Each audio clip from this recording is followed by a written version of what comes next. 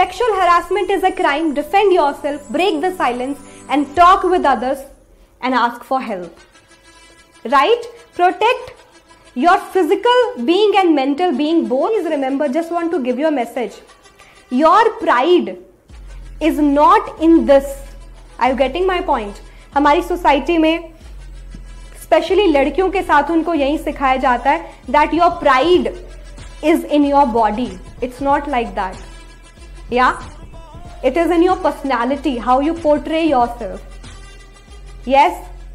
So have that strength. Speak against it